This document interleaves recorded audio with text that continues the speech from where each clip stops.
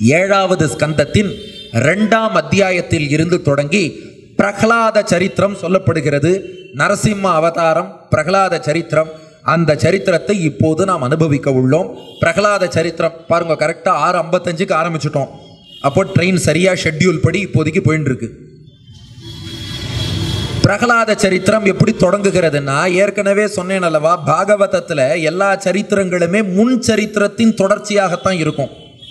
வராக அவதாரம் பார்த்தோம். வராக பெருமாள் ஹிரண்யாக்ஷனை வதம் பண்ணினார் என்பதை கேள்விப்பட்டோம் அல்லவா? இப்போ அங்கிருந்து தொடர்கிறது பிரகலாத சரித்திரம். எப்படின்னா பிராத்தரி ஏவம் வினிகதே ஹரிணா குரோடமூர்த்தினா ஹிரண்ய கசிபூராஜன் பரியதப்யத் ருஷா சுச்சா அந்த ஹிரண்யாக்ஷன்கிற அசுரனை பெருமாள் வராக அவதாரம் பண்ணி முடிச்சுட்டார். அந்த ஹிரண்யாக்ஷனுக்கு ஒரு அண்ணன் இருக்கிறான். அவன் தான் ஹிரண்ய கசிப்பு அப்போவே பார்த்தோம் இல்லையா ரெண்டு பேர் பிறந்தான்னு. அதில் ஹிரண்யாக்ஷன் போயிட்டான். அதுக்கப்புறம் அண்ணன் ஹிரண்ய கசிப்பு என்ன பண்ணான்னா ருஷா ஷுச்சா அவனுக்கு ஒரு பக்கம் கோபம் இன்னொரு பக்கம் வருத்தம். தம்பி போயிட்டானேன்னு வருத்தம். இன்னொரு பக்கம் கோபம். அந்த நாராயணன் பன்றி வடிவில் வந்து என் தம்பியை கொன்றானா? நாராயணனை குறித்து கோபம் தம்பி இறந்ததை குறித்து வருத்தம். இந்த நிலையில இந்த ஹிரண்யகசிப்பு என்ன பண்ணானா அசுரர்களை எல்லாம் அழைத்து ஒரு பெரிய இரங்கல் கூட்டம் போட்டானாம் இறந்து போன தம்பிக்காக. அந்த கூட்டத்தில் ஹிரண்யகசிப்பு இந்த மைக்கை வச்சுட்டு பேசுறான்.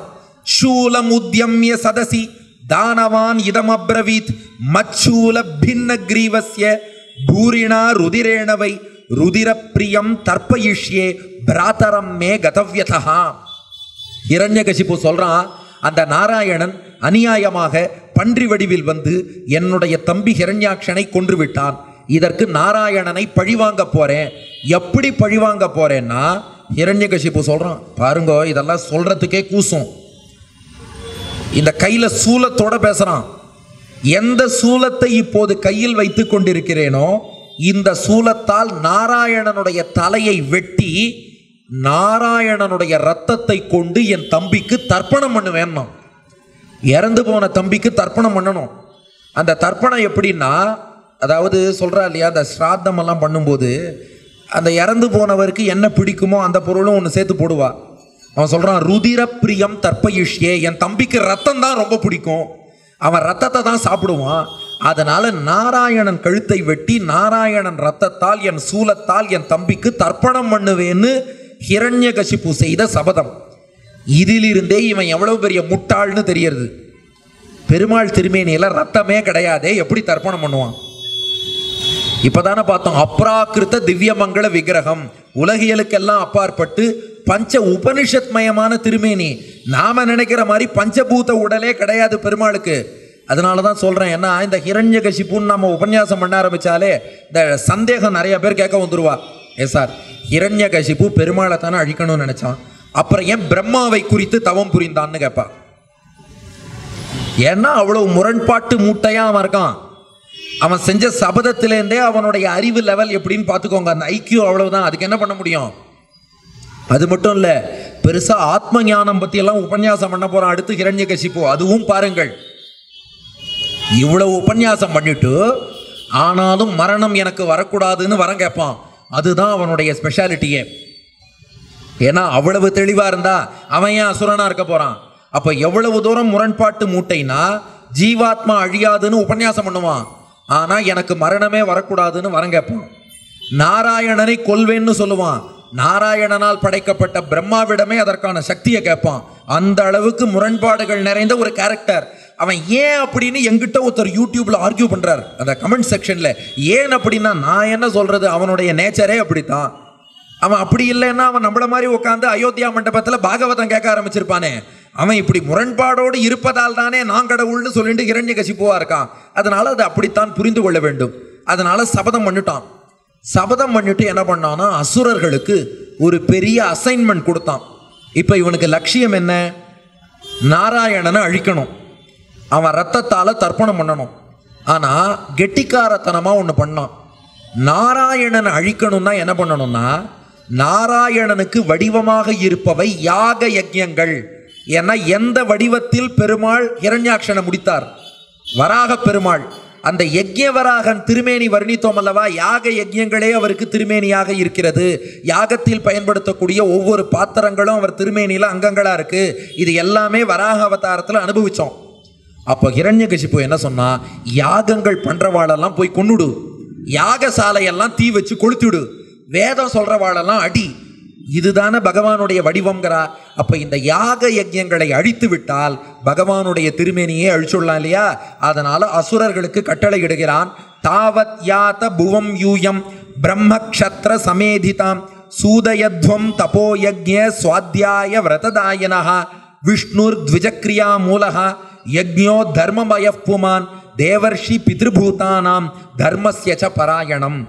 நாராயணனுக்கு யாகம் அதுபோல தபசு வேதம் இது போன்ற வைதிக காரியங்கள் தான் திருமேனியாக இருக்குது அப்போ இதையெல்லாம் போய் அழியுங்கள். எத்திர எத்திர த்விஜா காவகா வேதா வர்ணாசிரம கிரியாக தம் தம் ஜனபதம் யாத சந்தீபயத விருஷதன்னா எங்கெல்லாம் வேதங்கள் சொல்கிறாளோ அவளெல்லாம் போய் கொண்டுடு எங்கெல்லாம் வேதம் படிச்சவா இருக்காளோ அவர்களெல்லாம் தீ வச்சு கொளுத்திவிடு எங்கெல்லாம் பசுமாடு இருக்கோ அந்த பசுமாட்டெல்லாம் அடித்து நொறுக்கிடு. அதுக்கப்புறம் வர்ணாசிரம தர்மத்தை எங்கெல்லாம் பின்பற்றுகிறார்களோ அந்த ஊரையெல்லாம் தீ வைத்து கொளுத்தி விடுங்கள். அதுக்கப்புறம் எந்தெந்த மரத்தினுடைய அந்த கட்டைகளை எல்லாம் யாகத்துக்கு பயன்படுத்துவாளோ அந்த மரங்களை எல்லாம் வெட்டி போட்டுடுங்கன்னாம் யாக யஜ்யங்களே பூமியில் நடக்கக்கூடாது வேதமே சொல்லக்கூடாது வேத தர்மத்தையே அழிக்க வேண்டும் என்று இத்தனை கட்டளையிட்டு இரண்ய கசிப்பு அனுப்பி வைத்தான். அதுக்குள்ள அந்த இரண்யாக்ஷன் இறந்ததால் ஹிரண்யாக்ஷன் இரண்யகசிப்புவின் தாயான திதி தேவி வருத்தத்தில் இருக்கா அதுபோல் அந்த ஹிரண்யாக்ஷன் மனைவிக்கு ருஷாபானுன்னு பேர். அந்த ருஷாபானுவும் வருத்தத்தில் இருக்கா அதனால் ஹிரண்யகசிப்பு அவர்களை அழைத்து சொன்னான் நீங்கள்லாம் கவலைப்படாதீங்கோ. என் தம்பி மரணத்துக்கு காரணமான நாராயணனை நான் எப்படியும் பழிவாங்குவேன்னு சொல்லிட்டு அவளெல்லாம் கூப்பிட்டான். இப்போ அடுத்து அவளுக்கு உபன்யாசம் பண்ணுறான் இப்போ ஆடியன்ஸ் யார் யாருன்னா இவனுடைய அம்மா திதி தேவி உட்காந்துருக்கா ஹிரண்யாக்ஷன் மனைவி இறந்து போன ஹிரண்யாக்ஷனுடைய உயிரோடு இருக்கும் மனைவியான ருஷா பானு உட்காந்துருக்கா ஹிரண்யாக்ஷனுடைய மகன்கள் அவ யாருன்னா? சகுனி சம்பரன் பூத்த சந்தாபன் விருகன் காலநாபன் மகாநாபன் ஹரிஸ்மஸ்ரு உத்கச்சன் என்று எட்டு பிள்ளைகள் இந்த ஹிரண்யாக்ஷனுக்கு. அந்த எட்டு பேர் சகுனி சம்பரன் பூத சந்தாபன் விருகன் காலநாபன் மகாநாபன் ஹரிஸ்மஸ்ரு உத்கச்சன். இந்த எட்டு பிள்ளைகள் அவனுடைய மனைவி ருஷாபானு அம்மா திதி. அவளை உட்கார வச்சு சொல்கிறான் நீங்கள் யாரும் கவலைப்படாதீங்கோ. என் தம்பி வீர மரணம் அடைந்திருக்கிறான். அம்பாம்பகே வது புத்திராக. வீரம் மார்கத சோச்சித்தும். ரிப்போர் அபிமுகே ஸ்லாக்யா சூராணாம் வத ஈப்சிதா ஒரு வீரனுக்கு எது சிறப்பு? சண்டை போட்டு போரிலே வீரமரணம் அடையணும். அப்படிப்பட்ட வீரமரணத்தை தானே என் தம்பியான ஹிரண்யாக்ஷன் அடைந்தான். வருத்தப்படாதீங்கோ. மேலும் இது பாருங்க இந்த தத்துவங்கள்லாம் ஹிரண்யகசிப்பு சொல்றான். உங்களுக்கே சந்தேகம் ஆயிடும் நம்ம கீதை கேட்குறோமா? ஹிரண்யகசிப்புவின் பேச்சு கேட்குறோமான்னு ஹிரண்யகசிப்பு சொல்றான். இந்த உலகத்திலே நிறைய உறவுகள்லாம் சொல்றோமே. இந்த உறவெல்லாம் எப்படி தெரியுமா? தண்ணீர் பந்தல் உறவு மாதிரின்னா. வெயிலில் ரெண்டு பயணிகள் பயணிச்சுட்டு போறா. ஒரு தண்ணீர் பந்தல்ல தங்கறா. அங்க தண்ணீர் குடிக்கும் வரை இருவரும் சேர்ந்திருப்பா. அதுக்கப்புறம் இவர் அவ இவர் திசையில போயிடுவார் அவர் அவர் திசையில போயிடுவார். அது போல இந்த உடலுக்குள் இருக்கும் வரை இந்த ஜீவாத்மாவுக்கு அந்த ஜீவாத்மா உறவுன்னு சொல்லுவோம். அவரும் புறப்பட்டு போயிட்டார் இவரும் புறப்பட்டு போயிட்டார்னா அப்புறம் அந்த ஜீவாத்மாவுக்கும் இந்த ஜீவாத்மாவுக்கும் என்ன உறவுன்னு எப்படி சொல்வது? பூதானாமிக சம்வாசகா பிரபாயாம் இவ சுவ்ரதே தெய்வேனைக்கத்திர நீதானாம் உன்னீதானாம் ஸ்வகர்மபிகி இதெல்லாம் கர்ம வினையினால நிறைய உறவு சொல்றோம். தன் விந்தை தந்தவன் தந்தை தாங்குபவள் தாய் ஆக்குபவள் அக்காள் ஆள்பவன் அண்ணன் தம் பின் பிறந்தவன் தம்பி தன் கை போல் உதவுபவள் தங்கை பேரை உடையவன் பேரன்கிறா தாத்தா பேர பேரனுக்கு வச்சுடுறா. பேரை உடையவன் பேரன் தன் கை போல் உதவுபவள் தங்கை. தன் பின் பிறந்தவன் தம்பி ஆள்பவன் அண்ணன் ஆக்குபவள் அக்காள் தன் விந்தை தந்தவன் தந்தை தாங்குபவள் தாய். எல்லா உறவும் அதாவது கர்ம வினையினால வந்துட்டு இருக்கே ஒழிய இதெல்லாம் நிரந்தரம் இல்லை நித்ய ஆத்மா அவ்யய சுத்தகா சர்வக சர்வவித்பரகா தத்தேசௌ ஆத்மனோலிங்கம் மாயையா விசிருஜன் குணான். அடுத்த வார்த்தை சொல்கிறான் ஹிரண்யகசிப்பு. இந்த உடம்பெல்லாம் அழிஞ்சு தான் போகும். ஆனால் ஜீவாத்மாக்கள் இருக்கு பாருங்க. அந்த ஜீவாத்மாக்கள் மட்டும் அழியவே மாட்டார்கள். நித்தியமாக இருப்பார்கள். அவர்களை எந்த ஜீவாத்மாக்களை அழிக்கவே முடியாது. அவர்கள் தூய்மையானவர்கள். அந்த ஜீவாத்மாவின் ஞானம் எங்கும் பரவி இருக்கக்கூடியது. அப்படிப்பட்ட ஜீவாத்மா நாம்னு நாம் புரிஞ்சுக்கணும். இதெல்லாம் யார் சொன்னா? ஹிரண்யகசிப்பு. ஆனால் இதெல்லாம் சொல்லிட்டு எனக்கு சாவு வரக்கூடாதுன்னு அவன் வரமும் போய் கேட்பான். அதுதான் ஹிரண்யகசிப்புவோட ஸ்பெஷாலிட்டியே இதுக்கு மேலே ஒரு குட்டி ஸ்டோரி வேற சொல்கிறான் ஏன்னா பின்னாடி நிறைய பேர் குட்டி ஸ்டோரி சொல்லுவான்னு ஹிரண்யகசிப்பு பார்த்தான். முதல்ல நான் ஒரு குட்டி ஸ்டோரி சொல்கிறேன் கேளுங்கன்னு. அம்மா தம்பி மனைவி தம்பி பிள்ளைகளெல்லாம் உட்கார வச்சு கதை சொல்கிறான் என்ன கதைனா ஒரு காடு. அந்த காட்டிலே ஒரு மரம். அந்த மரத்தில் ஆண் பறவை பெண் பறவை ரெண்டு பறவை ஜோடியாக வாழ்ந்து வந்தன. அப்போ ஒரு வேடன் ஒருத்தன் வேட்டையாட வந்தானோ அந்த வேடன் என்ன பண்ணானா நெய்யரிசி உருண்ட ஒன்றை அந்த மரத்தடியில் வச்சானான் அதை பெண் பறவை பார்த்துட்டு ஆஹா உணவு கிடச்சிருக்கே சாப்பிடலான்ட்டு கீழே இறங்கித்தான் அந்த வேடன் அந்த பறவையை பிடிச்சிட்டானோ? பிடிச்சதும் அந்த ஆண் பறவை பார்த்து தான் அடடா என் பெண் பறவையை வேடன் பிடிச்சிட்டானே என் மனைவி போயிட்டாளே என்னுடைய அந்த பெண் பறவை எவ்வளோ நாள் நாங்கள் ஆசையாக சேர்ந்து இருந்தோம் அதை பிடிச்சிட்டானே பிடிச்சிட்டானே பிடிச்சிட்டானேன்னு கண்ணீர் விட்டு வருந்துட்டே இருந்ததான். வேடன் பார்த்தான் ஆண் பறவை அசந்திருக்கு இதையும் பிடிச்சிடலான்னு மெதுவாக மரத்து மேலே ஏறி வந்து அதையும் பிடிச்சின்னு போயிட்டானோ. இப்போ இரண்யகசிப்பு என்ன சொல்கிறான் இது போலத்தான் ஒருத்தன் இறந்து போயிட்டான்னு சொல்லி அவனுக்காக நீங்கள் வருந்தி வருந்தி வருந்தி வருந்தி கண்ணீர் விட்டுட்டு இருந்தா அவனை எந்த யமன் கொண்டு போனானோ அதே யமன் வருந்தி இருக்கிற உங்களுக்கும் அப்படியே இந்த டென்ஷன்னால stress diabetes hypertension cholesterol heart attack எல்லா வியாதியும் கொடுத்து யமன் உங்களையும் அழிச்சுன்னு போயிடுவாங்கிறான். அதனால் அந்த வேடன் தான் யமனம் பெண் புறா வந்து இறந்து போன நபர். ஆண் புறா இறந்தவருக்காக வருத்தப்படும் நபர். இறந்தவருக்காக ஒருத்தன் வருத்தப்பட்டு இருந்தா அந்த யமன் என்ன பண்ணுவான்? ரைட்டு நமக்கு அடுத்த வேட்டை மாட்டித்துன்னு அதையும் சேர்த்து கொண்டு தான் போவானே ஒழிய வருத்தப்பட்டு பிரயோஜனம் இல்லை. இத்தனையும் சொல்லிட்டு நீங்கள்லாம் ஏதோ அறியாமையால் வருத்தப்பட்டு இருக்கேள் ஆத்மா நித்தியம்னு புரிஞ்சுக்கோங்க. நான் போய் தபஸ் பண்ணிட்டு வரேன்னா. எங்கடா தபஸ் பண்ண போறேன்னா? இல்லை நான் நாராயணனை அழிக்க வேண்டும் அல்லவா அதற்காக சக்தி எல்லாம் எனக்கு வேண்டும். அதற்காக பிரம்மாவை குறித்து தவம் புரிய போகிறேன்னா. அடுத்த முரண்பாடு பிரம்மாவையே படைத்தவன் நாராயணன். பிரம்மா வந்து நாராயணனால் படைக்கப்பட்டு அவருக்கு கீழே இருக்கிறவர். இவருக்கு மேலே இருக்கும் நாராயணனை அழிக்க நாராயணனுக்கு கீழே இருக்க பிரம்மாட்ட போய் சக்தி வாங்க போறானோ அதனால தபஸ் பண்றேன்ட்டு போனான். எங்க போனான்னா மந்தர மலைக்கு சென்றான் ஹிரண்யகசிபு. அந்த மந்தர மலையை தானே மத்தாக வைத்து திருப்பார்கடலை கடைந்தார்கள். மந்தர மலைக்கு போயிட்டான். சதேபே மந்தர துரோண்யாம் தப பரமதாருணம் ஊர்த்வபாகுர் நபோ திருஷ்டிகி பாதாங்குஷ்டாஸ்ரிதாவனிகி இரண்யகசிபு மந்தரமலைக்கு போனான். எப்படி நின்றானா இந்த தீய சக்திகள்லாம் தபஸ் பண்ணான்னு வச்சுக்கோங்களேன் இது செய்ய வேண்டாமேன்னு கேட்குறவாளுக்கே தோணும். ஏன்னா அது அவ்வளோ கொடூரமாக இருக்கும். இப்போ சாத்விகமாக பெரியோர்கள் தபஸ் பண்ணால் அந்த கர்தம பிரஜாபதி தபஸ் அடியன் சொன்ன நீங்கள் எல்லாமே கண்ணீர் விட்டு கேட்டாள் ஆகா எவ்வளோ அழகாக தபஸ் பண்ணார். பெருமாளே கண்ணீர் விட்டு பிந்து சரஸ்னு பொய்கையெல்லாம் உருவாச்சு. இப்போ இவன் தபஸ் பண்ணுறான் பரம தாருணம் கொடூரமான தபஸ் பண்ணானோ. அது மட்டும் இல்ல ஊர்துவ பாகுகு ரெண்டு கைகளையும் மேலே தூக்கி கொண்டான். நபோ திருஷ்டிகி இப்படி அண்ணாந்து கழுத்து மேல் நோக்கி பார்த்துட்டு இருக்கான் கழுத்து வலியே வந்துடும் தலையை இப்படி மேல் நோக்கி வச்சுனுட்டான் ரெண்டு கைகளையும் மேலே உயர்த்தி கொண்டான். பாதாங்குஷ்டாஸ்ரிதாவனிகி ரெண்டு கால்களின் கட்டை விரல்களை மட்டும் ஊனின்னு இருக்கான் மிச்ச கால்லாம் மேலே இருக்குது அதாவது நம்ம உடம்பையும் ஒரு அளவுக்கு மேலே வருத்தக்கூடாது. ஏன்னா அந்த ஒவ்வொரு பகுதியிலையும் ஒரு ஒரு தேவதைகள் எல்லாம் அதனால் நாம் பாட்டுக்கு இப்படி நம்மளையும் வருத்திண்டு உள்ளுக்குள்ளே இருக்கிற பெருமாளையும் போட்டு வருத்திண்டு இப்படியெல்லாம் தபஸ் பண்ணவே கூடாது. ஏன்னா தபஸுக்கும் சாஸ்திரத்தில் ஒரு விதி இருக்குது எந்த அளவுக்கு தன்னை வருத்தி கொள்ளலாம்னு சொல்லியிருக்கோ அவ்வளவுதான் பண்ணணும். இவன் இப்படி ஒரு தபஸ் பிரம்மாவை குறித்து செய்தான். அந்த ஹிரண்யகசிபுவை சுற்றி ஒரு புற்றே உருவாயிடுத்தான். கரையான் புற்று உருவாகி அந்த கரையான்லாம் என்ன பண்ணிவிடுத்தான் இரண்யகசிப்புவினுடைய தோல் சதை எல்லாத்தையும் அப்படியே அரிச்சு விடுத்தான். வெறும் எலும்பு மட்டும்தான் மிச்சம் இருக்கு. அத்தோடு பிரம்மாவை குறித்து தவம் புரிந்து கொண்டிருக்கிறான். இவனுடைய அந்த தபஸ் அக்னி இருக்கு பாருங்க தேவர்களை எல்லாம் போய் எரித்தது. எல்லா தேவர்களும் பிரம்மாட்ட போனா இவன் தபஸ் பண்றதை முதல்ல பார்க்கும்போதே பண்ண வேண்டான்னு தான் தோணித்து. இப்போ ரொம்ப கொடூரமாக இருக்குது இதுக்கு மேலே சொன்னால் அயோத்தியா மண்டபத்தில் உள்ள மக்களாலேயே கேட்க முடியாது. அவ்வளோ மோசமாக தபஸ் பண்ணுறான் கொஞ்சம் நீங்கள் போய் தயவு செஞ்சு இந்த தபஸை நிறுத்திடுங்கோன்னு தேவர்கள் பிரம்மாவிடம் சொன்னார்கள். அதனால் பிரம்மா இவன் தவம் புரியக்கூடிய இடத்துக்கு வந்துட்டார். வந்தால் ஹிரண்ய கசிப்புவை காணுமா? ஏன்? புற்று மூடிடுத்து. நததர்ஷ பிரதிச்சன்னம் வல்மீக திருணக்கீச்சகைகி வல்மீகம் என்றால் புற்றுன்னு அர்த்தம். அதனால அந்த புற்று செடி கொடி எல்லாம் அவனை மூடி இருக்கு. பிபீலிகாபிர் ஆச்சீர்ண மேதஸ்துவக் மாம்ச சோனிதம் அவனுடைய தோல் சதை உள்ளிட்ட அனைத்து உடல் உறுப்புகளையும் பார்த்தால் இந்த கரையான்லாம் வந்து அரிச்சுடுத்தான் அப்படிப்பட்ட நிலையில் இருக்கான்.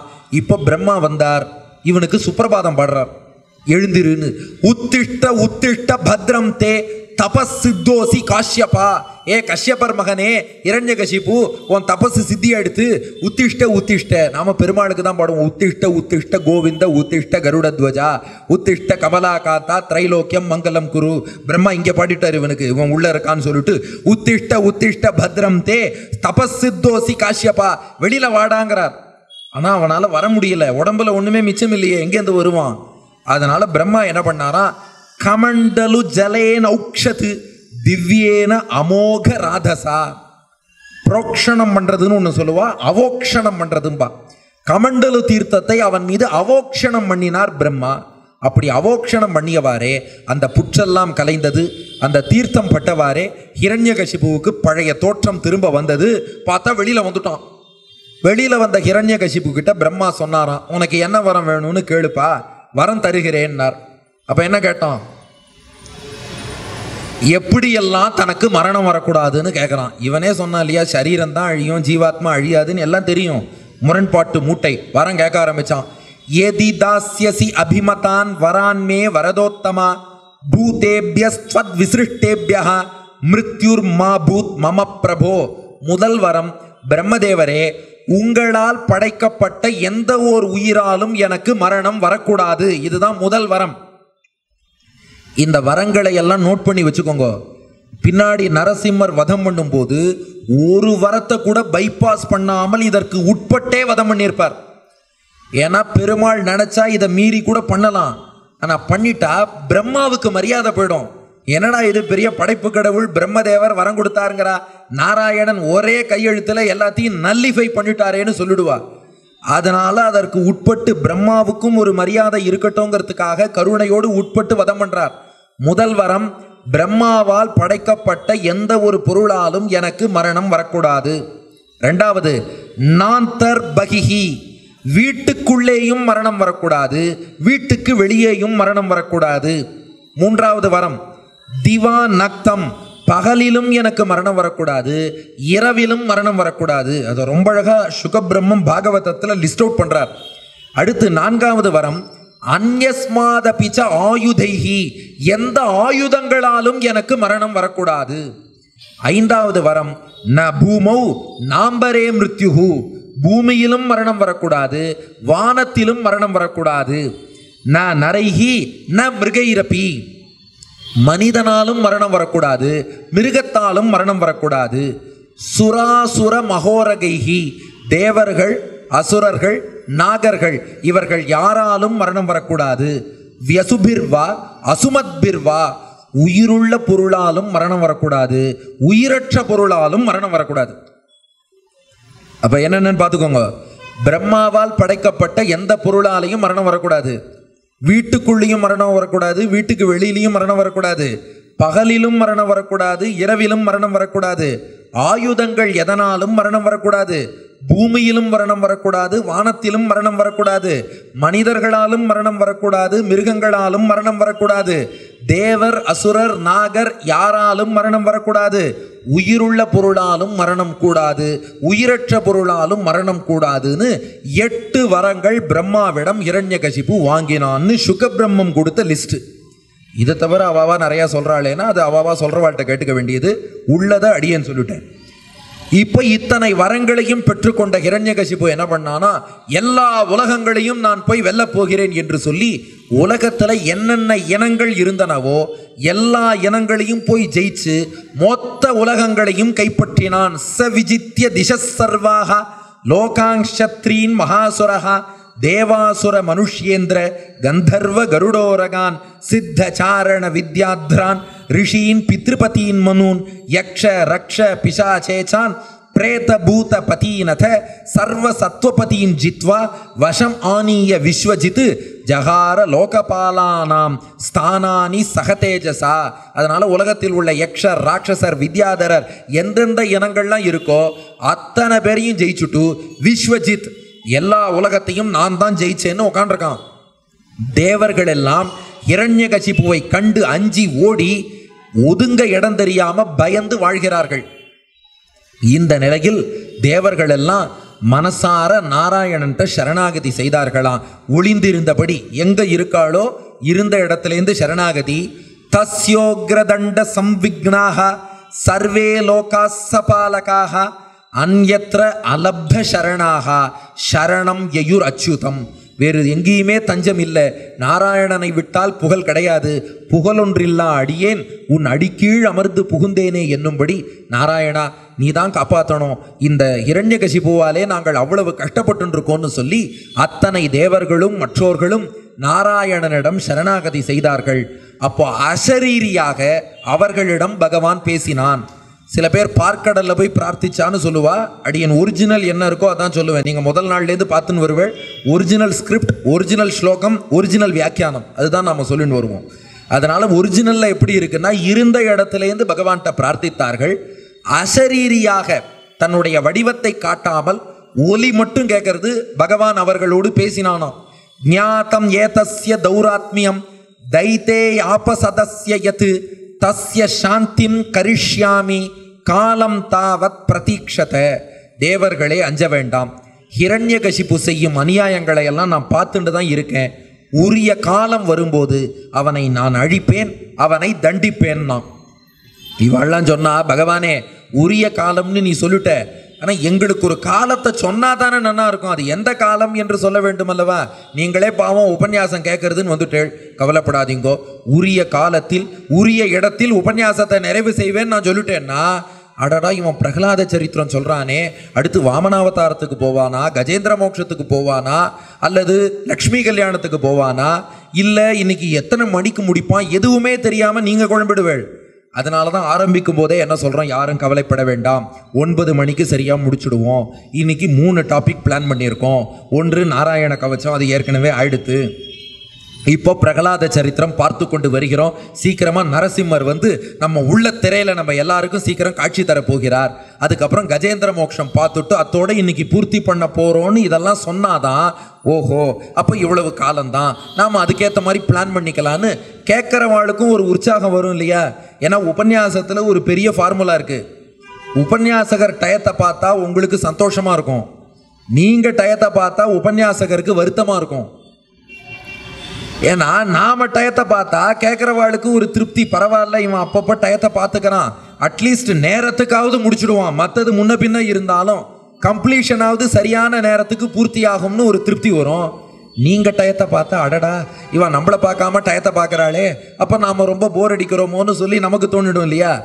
ஆகையினால நம்ம எப்போவுமே அது கால அளவுன்னு சொல்லிட்டா அது சேஃப் அதனால இவ கேட்டா பகவானே எந்த காலம்னு கேட்டா அப்போ ஒரு வார்த்தை சொல்கிறான் பகவான். பாருங்க எவ்வளோ பெரிய வாழ்க்கை பாடம்னு. யதா தேவேஷு வேதேஷு கோஷு விப்ரேஷு சாதுஷு தர்மே மயிச்ச வித்வேஷா சவா ஆஷு வினஷ்யதி.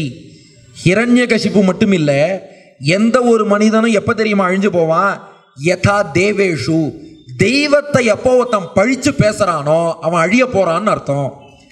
வேதேஷு எப்போ ஒருத்தன் வேதங்களை எல்லாம் திட்டுகிறானோ இந்த வேதங்கள்லாம் பொய் அப்படின்னு ஒருத்தன் பேசுறான்னா அவனுக்கு அழிவு காலம் நெருங்கி விட்டதுன்னு அர்த்தம். கோஷு பசுமாட்டை ஒருத்தன் போட்டு துன்புறுத்தினான்னா அவன் அழிய போகிறான்னு அர்த்தம். விப்ரேஷு வேதம் படித்தவர்களை எல்லாம் போட்டு ஒருத்தன் கஷ்டப்படுத்திட்டே இருந்தான்னா அவன் அழிய போறான்னு அர்த்தம். சாதுஷு நல்லோர்கள் பக்தர்கள் இவர்களையெல்லாம் ஒருத்தன் விரட்டி அடித்து துன்புறுத்தினான்னா அவன் அழிய போகிறான்னு அர்த்தம். தர்மே ஒருத்தன் தர்மத்தையே பழிச்சு பேசினான்னா இந்த தர்மமே தப்பு என்று தர்மத்தை ஒருவன் இகழ்ந்தால் அவன் அழிய போகிறான்னு அர்த்தம். அடுத்து மயிச்ச பகவானை ஒருவன் திட்டினான்னா இறைவனையே பழித்து பேசினால் இவர்கள் எல்லாம் சவா ஆஷு வினஷ்யதி. ஆஷுன்னா விரைவாகன்னு அர்த்தம். இந்த இடத்துல வான்னு இருக்கு பாருங்க அது வை என்ற வார்த்தை. வை வந்து ஆ என்ற அடுத்த வார்த்தை தொடங்கினால் வை வான்னு ஆயிடும். அது சான்ஸ்கிரிட் கிராமர். வைனா சர்டைன்லின்னு அர்த்தம். இதில் சந்தேகமே வேண்டாம். ச வை ஆஷு வினஷ்யதி. சீக்கிரமாக அழிந்து விடுவான். அதனால வேதத்தையோ தேவர்களையோ பசுவையோ வேதம் கற்றவரையோ சாதுக்களையோ தர்மத்தையோ பகவானையோ ஒருவன் பழித்து பேசினால் சீக்கிரமாக அழிஞ்சு போயிடுவான். அதனால் இதை எப்போ இரண்ய கசிப்பு பண்ணுறானோ அப்போ அழிவான்னார். இவா பார்த்தா பகவானே மறுபடியும் நீ இப்படியே காலம் சொல்றிய. அது எந்த காலம்னு சொல்லுன்னா அவன் எப்போ இவாளெல்லாம் திட்டுறானோ அப்போ அழிஞ்சு போவான்னு சொன்னா எப்படி? அதனால் என்ன பண்ணால் பகவான் அதற்கான காலம் சொன்னான். ஒரு குறிப்பால் உணர்த்துகிறேன்.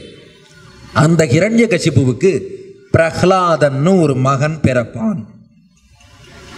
ஹிரண்ய எப்போ அழிவான்னா பிரகலாதன் என்று ஒரு மகன் பிறப்பான்.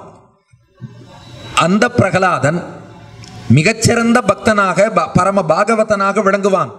அந்த பிரகலாதன்ட்ட எப்போ அபசாரப்படுறானோ அப்போ ஹிரண்யகசிபு அழிவான். நிர்வைராய பிரசாந்தாய ஸ்வசுதாய மகாத்மனே பிரஹ்லாதாய யதா துருஹ்யேத் ஹனிஷ்யேபி வரோர்ஜிதம். இப்படி தன் மகன் மகாத்மாவாகிய பரம பக்தனாகிய சாந்தமான மனம் நிறைந்த அந்த பிரகலாதனை எப்போ விரோதியாக பார்த்து அவனுக்கு தீங்கிழைக்க பார்க்கிறானோ அப்ப நானே வந்து அவனை கொல்லுவேன்னார் பெருமாள். ஏன்னா தங்கிட்ட அபச்சாரப்பட்டா பெருமாள் பொறுத்துப்பார். ஆனா தன் பக்தர்களிடம் யாராவது அபச்சாரப்பட்டா அதை பகவான் பொறுத்து கொள்ளவே மாட்டான். அதனாலதான் சுவாமி நம்பிள்ளை ரொம்ப அழகா சாதிச்சார். பகவான் அவதரித்து செய்த அத்தனை ஆணை தொழில்களும் எதற்காகன்னா பாகவத அபச்சாரம் பொறாமையாலே. ராமன் ராவணனை அழித்தான்னா ராவணன் ராமன்ட்ட அபச்சாரப்பட்டதுக்காக கிடையாது. ராவணன் எத்தனை ரிஷிகளை துன்புறுத்தினான். அந்த கோபம் ராமன் ராவணனை அழித்தான். நரசிம்மர் இரணியனை அழிக்கிறார்னா பகவான தெய்வம் இல்லை இரண்ய இரண்யகசிப்பு நான் தான் கடவுள்னு சொன்னான் பகவான தெய்வமே இல்லைன்னா அதற்காக வந்து அழித்தாரான்னா இதெல்லாம் ஜுஜூபி போடான்ட்டு அவன் போயிடுவான். ஆனா பக்த பிரகலாதட்ட அபச்சாரப்பட்டா பகவானால் பொறுக்க முடியாது. ஏன் கௌரவர்களை அழித்தானேன்னா பக்தர்களாகிய பாண்டவர்களுக்கு அபராதம் இழைத்தார்கள் அதனால் அழித்தான். அப்போ ஈஸ்வரன் அவதரித்து செய்த ஆணை தொழில்கள் எல்லாம் பாகவத அபச்சாரம் பொறாமையாலே. என் பக்தனாகிய பிரகலாதன்ட்டு அபச்சாரப்படுவான். அப்போ நானே அவனை அழிப்பேன் நீங்கள் அஞ்சாதீர்கள்னு சொல்லி இந்த தேவர்களை எல்லாம் பகவான் அனுப்பி வைத்து விட்டார். இது சீன் அப்படியே அங்கே கட் பண்ணுறோம் இப்போ இங்கே ஓப்பன் பண்ணுவோம். இந்த ஹிரண்யகசிபு பல வரங்களை எல்லாம் வாங்கி கொண்டு வந்து தான் தான் எல்லா உலகங்களையும் ஆண்டு கொண்டு வருகிறான். அந்த ஹிரண்யகசிபுவின் மனைவிக்கு கயாது என்று பெயர். அந்த கயாதுவுக்கும் ஹிரண்யகசிபுவுக்கும் எத்தனை குழந்தைகள் பிறந்தார்கள்? நான்கு குழந்தைகள் பிறந்தார்கள். முதல் குழந்தைக்கு ஹ்லாதன் என்று பெயர். இரண்டாவது குழந்தை அனுஹ்லாதன். மூன்றாவது குழந்தை நம்ம பிரஹ்லாதன். நான்காவது குழந்தை சம்ஹ்லாதன். நாலு பேர் பேரும் பாகவதத்திலேயே உள்ளது. ஹ்லாதன் அனுஹ்லாதன் பிரஹ்லாதன் சம்ஹ்லாதன் என்று நான்கு குழந்தைகள். ஹ்லாதம் என்றால் மகிழ்ச்சி ஆனந்தம்னு அர்த்தம். பிரஹ்லாதன்னா நல்ல ஆனந்தம் தருபவன். பிரகலாத சரித்திரம்னு சொன்னாலே ஒரு ஆனந்தம் வருது இல்லையா? நேற்றைக்கே இன்றைக்கு பிரகலாத சரித்திரம் சொல்ல போறேன்னு சொன்னதுமே பாருங்களேன் எவ்வளோ பேர் சந்தோஷமா வந்துட்டேள்னு அப்போ பிரஹ்லாதன் அவன் பெயரை சொன்னாலே நம்ம மனசுலலாம் ஒரு நல்ல ஒரு சந்தோஷம் என்பது ஏற்படுகிறது. அதனால தான் பெருமாளுக்கே சந்தோஷம் ஏற்பட்டு அர்ச்சக சுவாமி அனுப்பி வச்சிருக்காருன்னா பிரகலாதன் என்று சொன்னால் பகவானுக்கும் சந்தோஷம் அடியார்களுக்கும் சந்தோஷம் சொல்றவாளுக்கும் சந்தோஷம் கேட்கிறவாளுக்கும் சந்தோஷம் பொருத்தமான பெயர் பிரஹ்லாதன் என்று அவனுக்கு திருநாமம். தஸ்ய தைத்தியபதே புத்திராக சத்வார பரமாத்புதாக பிரஹ்லாதோ பூத் மகாங்ஸ்தேஷாம் குணைர் மகதுபாசகா அந்த நான்கு பிள்ளைகளிலே பிரஹ்லாதன் என்பவன் மட்டும் மிகச்சிறந்த மகானாக பரம பக்தனாக சில பேரை கர்ப்ப ஸ்ரீமான்னு சொல்லுவா. கருவிலே திருவுடையார். அவெல்லாம் அவதரிக்கும் போதே பக்தர்கள். ஏன்னா தாத்தாவான கஷ்யப்ப முனிவர் ஆசீர்வாதம் பண்ணியிருக்கார். தித்திட்ட சொன்னார் உனக்கு ஒரு பேரம் பிறப்பான் பகவானை விட உன் பேரனாகிய பக்தனை லோகமே கொண்டாடுன்னு சொல்லியிருந்தார் இல்லையா? அப்படி ஒரு ஆச்சாரியன் அனுகிரகம் பெற்றவன். அத்தோட இன்னொரு ஆச்சாரியன் அனுகிரகம் இருக்கு. அது ஃப்ளாஷ்பேக்கில் வரும். ஏன்னா நீங்கள் கேட்ட நாரதர் சரித்திரம் வரலையேன்னு யோசிக்க வேண்டாம். நாம் எப்போதுமே ஒரிஜினல் ஸ்கிரிப்டை ஃபாலோ பண்ணுறோம் அதனால இவன் பரம பாகவதனாக கருவிலே திருவுடையவனாக விளங்குகிறான். அவனுடைய கல்யாண குணங்களை சுகபிரம்மம் வர்ணிக்கிறார். எப்படி இருந்தானாம் பிரகலாதன்? பிரம்மண்ய சீல சம்பன்னஹா சத்யசந்தோ ஜிதேந்திரியா ஆத்மவத் சர்வபூதானாம் ஏகப்பிரியோ சுகிருத்தமஹா. பிரம்மண்யஹா இவன் வேதம் வல்லார்களிடத்திலே பக்தியோடு இருந்தான். சீல சம்பன்னகா பணிவு உள்ளிட்ட நற்குணங்கள் நிறைந்தவனாக இருந்தான். சத்தியசந்தகா சத்தியத்தைத்தான் பேசுவான். எல்லாருக்கும் நன்மை செய்யக்கூடிய உண்மையை பேசுவான். ஜிதேந்திரியகா வெளிப்புலன்களையும் உள்புலனாகிய மனத்தையும் வென்றவனாக விளங்கினான். எல்லா உயிர்களையும் தன்னை போலவே பார்த்தானாம் யாரையுமே எதிரின்னு கருத மாட்டான். எனக்குள் எந்த நாராயணன் இருக்கானோ? அவன்தானே ஒவ்வொருவருக்குள்ளும் இருக்கிறான். அப்படி இருக்கும்போது நண்பன் யாரு? பகைவன் யாரு? எல்லோரும் நமக்கு வேண்டியவர்கள் தான் என்று தன்னை போலவே ஒவ்வொருவரையும் நேசித்து கொண்டிருந்தான். மேலும் சின்ன வயசுலேயே விளையாட்டு சாமான்லாம் வச்சு விளையாட மாட்டானோ? அவனுக்கு விளையாட்டே என்னன்னா பெருமாளுக்கு பூஜை பண்றது தான் விளையாட்டான் நியஸ்த கிரீடனகோ பாலகா ஜடவத் தன்மனஸ்தயா கிருஷ்ண கிரக கிரகீதாத்மா நவேத ஜெகதீதிருஷம். சின்ன வயசுல விளையாட்டுன்னா என்னன்னா கண்ணபிரானிடத்திலே மனத்தை செலுத்தி பகவானுக்கு பூஜை எல்லாம் பண்ணி அப்படியே வெளி உலகத்தின் நினைவே இல்லாமல் பக்தியில் அப்படியே ஆழ்ந்திருப்பது. இதுதான் பிரகலாதனுக்கு விளையாட்டே அதுதானோ. அதாவது பக்தியைத்தான் நற்பொழுது போக்கும்பா அதுக்காக டைம் பாஸுக்கு பக்தி பண்ணுறோன்னு அர்த்தம் இல்லை. நமக்கு பொழுது போக்குவதற்கான ஒரே போக்கு எதுன்னா பக்தி மட்டும்தான். அப்படி பக்தியிலேயே நம் பொழுதை நல்ல பொழுதாக கழிக்கணுங்கிறது தாத்பரியம். அதனால் இவன் என்ன பண்ணுவான்னா ஏதோ இந்த பூஜை செய்யும் நேரம் மட்டும்தான் பெருமாளை நினைக்கிறான்னு இல்லை. ஒரு பெரிய பட்டியல் கொடுத்துருக்கார் சுகபிரம்மம். அடியன் அப்படியே அந்த பட்டியலை சேவிக்கிறேன். எப்பெல்லாம் பிரகலாதன் பெருமாளை நினைப்பான்னு ஒரு பட்டியல். ஆசீனஃப் பரியட்டன் அஷ்ணன் ஷயானஃப் பிரபிபன் புருவன் நானுசந்தத ஏதானி கோவிந்த பரிரம்பிதா உட்கார்ந்திருந்தாலும் நடந்தாலும் உண்டாலும் படுத்தாலும் தண்ணீர் பருகினாலும் ஏதாவது பேசினாலும் அந்த பேசுகிறேன் நடக்கிறேன் உட்கார்ந்தேன்னு நினைக்க மாட்டானா. கோவிந்தன் கோவிந்தன் கோவிந்தன்னு பகவானையே நினைத்து கொண்டிருப்பான். உட்கார்ந்தாலும் கோவிந்தன் நின்னாலும் கோவிந்தன் நடந்தாலும் கோவிந்தன். குவச்சித் திரவதி வைகுண்ட சிந்தா சபல சேத்தனஹா திடீர்னு பகவானுடைய குணங்களை நினைப்பான் அழ ஆரம்பிச்சிருவானா பிரகலாதன். இவன் ஏன் அழுகிறான்னு சுத்தி இருக்கவாளுக்கு தெரியாது ஆனா அழுதுண்டே இருப்பான். குவச்சித் ஹசதி தச்சிந்தா ஹ்லாத உத்காயதி குவச்சித்து திடீர்னு சிரிப்பானா. பகவான் அவனுக்கு ஏதோ ஒரு விசேஷ காட்சி காட்டியிருப்பான். அதை நினைச்சு சிரிப்பான். பகவான் புகழை பாடுவான். குவச்சித் நததி குவச்சித் உத்கண்டகா விலஜோ நிருத்தியதி குவச்சித்து திடீர்னு என்ன பண்ணுவானா பகவானை பற்றி பேசுவான். குரல் அப்படியே தழுதழுக்கும். பகவானுடைய திருநாமத்தை சொல்ல அந்த வாய் வராது. குரல் தழுதழுக்க அவனை பற்றி பேசுவான். திடீர்னு பார்த்தா வெட்கமே இல்லாமல் ஆடத் தொடங்கிடுவான. பகவானுடைய நாமங்களை பாடிக்கொண்டு பிரகலாதன் ஆடுவான். அழுவன் தொழுவன் ஆடி காண்பன் பாடி அலற்றுவன் தழுவல் வினையால் பக்கம் நோக்கி நாணி கவிழ்ந்திருப்பன். செழுவன் பழன குடந்தை கிடந்தாய் செந்தாமரை கண்ணா என்று நம்மாழ்வார் பாடுகிறார் அல்லவா? அப்படி பகவானை பற்றி அழுகிறான் தொழுகிறான் ஆடுகிறான் பாடுகிறான் இப்படி எல்லாம் பண்ணுகிறான். குவச்சித் தத் பாவனா யுக்தகா தன்மயோனு சகாரக சில நேரம் என்ன ஆயிடுவானா அப்படியே பகவானையே நினைத்து நினைத்து நினைத்து நினைத்து தனக்குள் பகவான் இருப்பதாலே நானே நாராயணன் பானம் இது என்னப்பா அப்பாவுக்கும் பையனுக்கும் வித்தியாசமே இல்லையே. இரண்யகசிப்பு என்ன சொன்னான் உலகத்தில் யாரும் நாராயணனையே வணங்கப்படாது. நான் தான் கடவுள் எல்லாரும் என்னை வணங்குங்கள்னா. நாம் என்ன சொல்கிறோம்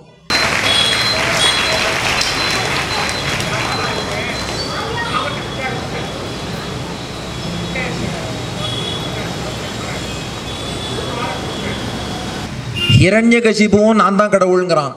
இப்போ மகனாகிய பிரகலாதன் அவனை பரம பக்தன் பாகவதன்னு சொல்கிறோம் பிரகலாதனும் அப்படியே நானே நாராயணன்னு சொல்கிறானேன்னா அது வேற இது வேற.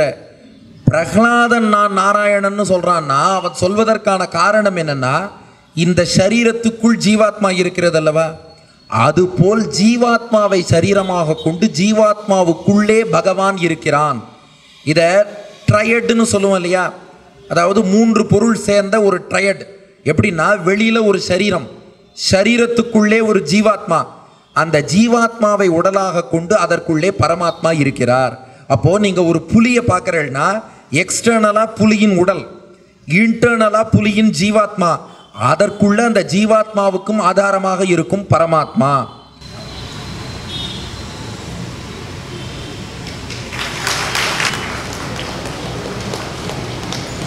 என்ற வார்த்தை குறிக்கும்.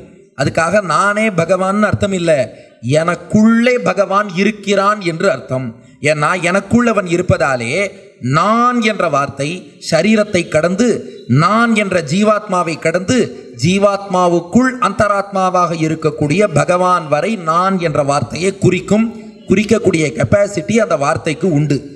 அந்த கான்டெக்ட்ல இப்போ பிரகலாதன் என்ன சொல்றான்? நான் நாராயணன் என்றால் எனக்குள்ளே நாராயணன் இருந்து என்னை கண்ட்ரோல் பண்ணின்ருக்கான்னு அர்த்தம். அது ஏன் இப்படித்தான் கஷ்டப்பட்டு சொல்லணுமான்னா நான் நாராயணன்னு சொல்றதுக்கு காரணம் இருக்கு. என்னன்னா நானே நாராயணன்னா அந்த நாராயணன் இல்லாமல் என்னால் இருக்க முடியாது. அவன் இல்லாமல் இண்டிபெண்ட் எக்ஸிஸ்டன்ஸுங்கிறதே எனக்கு கிடையாது. நின்னலால் இளையன் கான்னு நம்மாழ்வார் பாடினார். பகவான் இல்லாமல் இந்த ஜீவாத்மாவால் இருக்கவே முடியாது. இந்த ஒரு ஜீவாத்மா மட்டும் இல்லை இந்த தூணாகட்டும் ஏன் இந்த மைக்காகட்டும் இந்த டேபிள் ஆகட்டும் இது எல்லாமே நாராயணன். ஏன்னா அவன் இல்லாமல் இதால் இரு இருக்கவே முடியாது.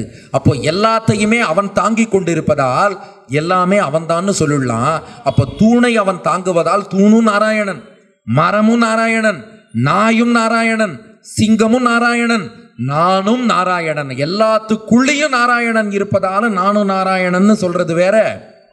ஹிரண்யகசிப்பு நான் மட்டும்தான் கடவுள் மிச்சம் இருக்கிறவன்லாம் என்னை வணங்குன்னு சொல்றது வேற. அப்போ ஹிரண்யகசிப்பு சொல்றது நான் தான் கடவுள் மற்றவன்லாம் என்ன வணங்கணும்னா பிரகலாதன் தன்னை கடவுள்னு சொல்லலை. கடவுளாகிய நாராயணன் எல்லோருக்குள்ளும் இருக்கிறார். அவர் அடியேனுக்குள்ளும் இருக்கிறார். அடியன் நாராயணனா ஆக முடியாது. அவருக்கு சரீரமாக இருக்கிறேன். அவரால் ஆளப்படுகிறேன். அவர் இல்லாமல் என்னால் இருக்கவே முடியாது. அவனே நீ. இப்போ வேதத்திலேயே அகம் பிரம்மாஸ்மின்னு இருக்கே அதுக்கு என்ன காரணம்னா அவன் இல்லாமல் இந்த ஜீவாத்மாவுக்கு இருப்புங்கிறதே கிடையாது.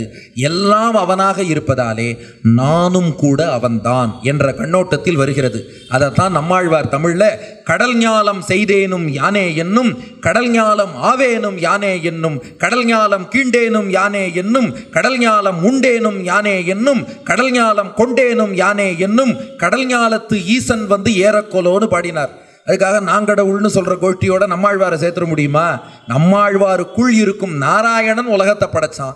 நான் என்ற வார்த்தை அந்த நாராயணன் வரை குறிக்கும். ஏன்னா அவன் இல்லைன்னா நான் ஒருத்தன் கூட இருக்க முடியாதுன்னு தாத்பரியம். அதனால் அப்படி பகவானை நினைத்து நினைத்து தன்மயமாகவே ஆகி பகவானைப் போலவே அனுகாரம் பண்ணுவானாம். அந்த மெய்ப்பாட்டு நிலையில் இவன் பகவானைப் போலவே செயல்படுவானாம்.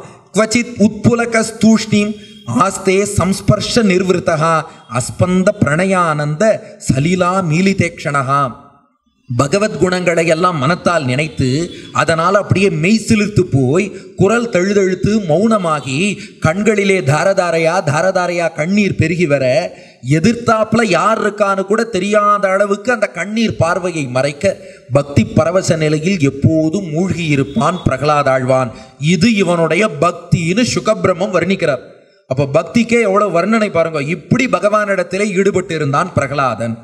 ஆனால் பொறுப்பில்லாத தந்தை இரண்யகசிப்பு மகன் எப்படியெல்லாம் டெவலப் ஆயிருக்காங்கிறது தெரியாமல் இந்த பிள்ளையை கொண்டு போய் அசுர குருகுலத்தில் சேர்த்து சுக்கர நீதி படிக்க வைக்கணும்னு நினச்சானோ சுக்கர நீதின்னு அசுரர்களுக்கான ஒரு நீதி சாஸ்திரம் இருக்கு. அந்த நீதியை இவனுக்கு சொல்லி கொடுக்கணும். அதுக்கு என்ன பண்ணலான்னு பார்த்தான். அசுரர்களின் குரு சுக்கராச்சாரியார்னு பார்த்தோம். அந்த சுக்கராச்சாரியாருக்கு சண்டன் மர்க்கன்னு ரெண்டு மகன்கள். அதைத்தான் சண்டாமர்க்கர்கள்பா சண்டஷ்ட மர்க்கஷ்ட சண்டாமர்க்கவும்பா. அந்த சண்டாமர்க்கர்கள் என்ற அந்த இருவருடைய குருகுலம் அங்கே தான் எல்லா அசுர பிள்ளைகளும் அந்த சுக்கர நீதி கற்றுக்கிறார் அந்த குருகுலத்தில் பிரகலாதனையும் கொண்டு போய் சேர்க்கிறான் ஹிரண்யகசிபு. ஷண்டாமர்கௌ சுதௌ தஸ்ய தைத்தியராஜ கிரகாந்திகே தௌராஜ்ஞா பிராபிதம் பாலம். பிரஹ்லாதம் நயகோவிதம். அந்த அசுர பாடசாலையிலே அசுரர்களுக்குரிய சுக்கரநீதி கற்பதற்காக பிரகலாதனை கொண்டு போய் ஹிரண்யகசிபு சேர்த்துட்டான். அவர்கள் அசுர நீதி சொல்லித்தரா. வாழ்க்கையில் முன்னேறணும்னா நாம் நிறைய பணம் சம்பாதிக்கணும். யாரை வேணாலும் அடிக்கலாம் உதைக்கலாம் தப்பே கிடையாது. நாம் மட்டும் நன்னா வாழ்ந்தால் போதும். அடுத்தவனை பற்றி நீ கவலைப்படாதே. இது போல் என்னென்ன அனர்த்தங்கள்லாம் உண்டோ எல்லாத்தையும் சொல்லி கொடுத்துன்னு இருக்கா. பிரகலாதன் பார்த்தானா பாட்டயா மாசத்து பாட்டியான் அந்யாங்ஷ அசுரபாலகான் எத்தத்திர குருணா புரோக்தம் சுஷ்ருவே அனுபபாட்டச்ச ந சாது மனசா மேனே ஸ்வபரா சத்கிரகாஸ்ரயம் பிரகலாதன் பார்த்தானா இது என்னை வாழலாம் பாடம் சொல்லி கொடுத்துட்டு இருக்கா இதெல்லாம் ஆத்மாவுக்கு எந்த வகையிலும் நன்மை செய்யாதே. ஏதோ உடல் அளவில் நிறையா பணம் சம்பாதிக்கணும் இதெல்லாம் சொல்கிறா இந்த சரீரம் நன்னா வாழ்ந்தா போதுங்கிறா. உள்ளிருக்கும் ஆத்மா அது நாசமடைஞ்சாலும் இவ கவலைப்பட மாட்டா போல இருக்கு. ஆத்மா நாசம்னா அழிவுன்னு அர்த்தம் இல்லை. ஆத்மா உயர்நிலைக்கு போகாமல் தாழ்ந்த நிலைக்கு போவதை ஆத்ம நாசம்பா அப்படிப்பட்ட நிலைக்கு போவதற்கு தானே இவ பாடம் கற்பிச்சுட்டு இருக்கா இந்த பாடம் ஒன்றுமே உருப்படாதே. இப்படி சொல்கிறாளேன்னு அவர்கள் சொல்வதையெல்லாம் காதிலேயே வாங்காமல் இருந்துட்டானோ.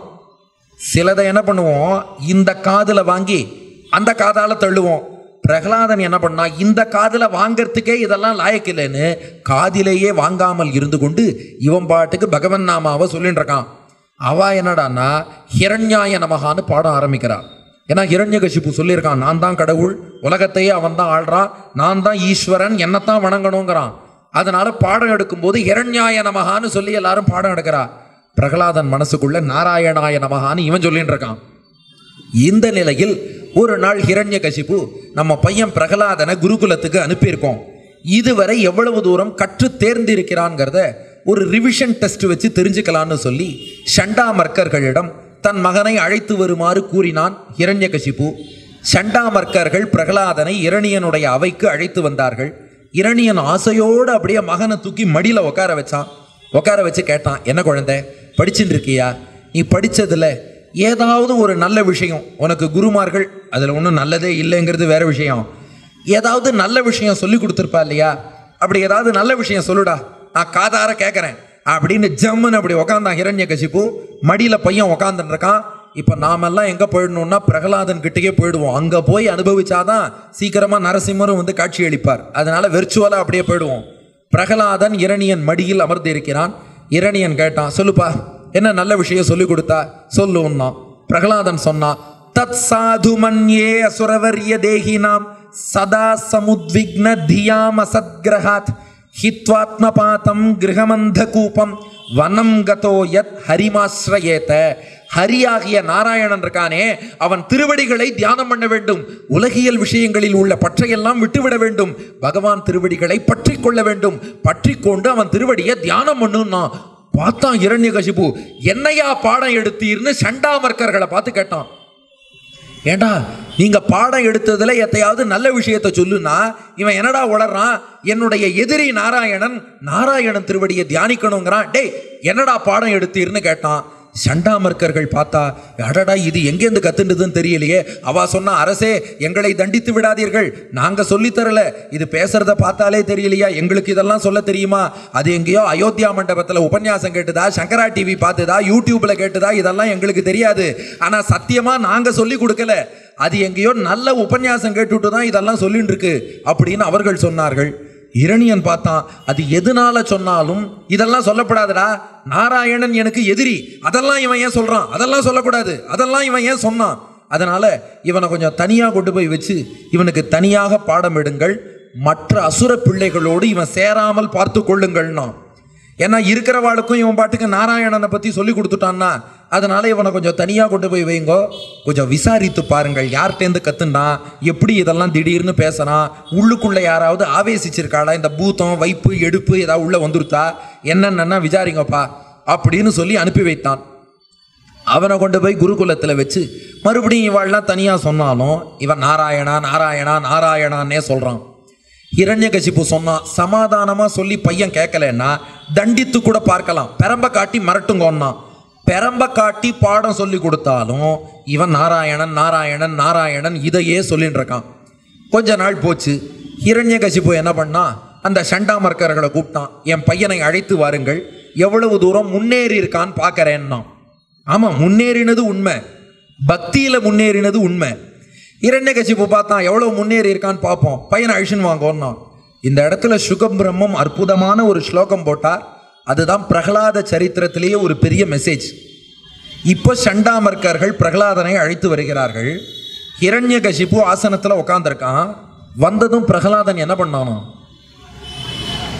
ஹிரண்ய கசிப்புவுக்கு நமஸ்காரம் பண்ணானா? பாதையோ பதிதம் பாலம் பிரதிநந்திய ஆசிஷாசுரகா அப்பா காலில் விழுந்து நமஸ்காரம் பண்ணா நன்னா இருடான்னு ஹிரண்ய கசிப்பு ஆசீர்வாதம் பண்ணானோ? என்ன சார் இது? அவள்லாம் ஹிரண்யாய நமகான்னு சொல்ல சொன்னப்போ சொல்ல மாட்டேன்னு சொல்லிட்டு அந்த இரணியனுக்கே ஏன் நமஸ்காரம் பண்ணணும்?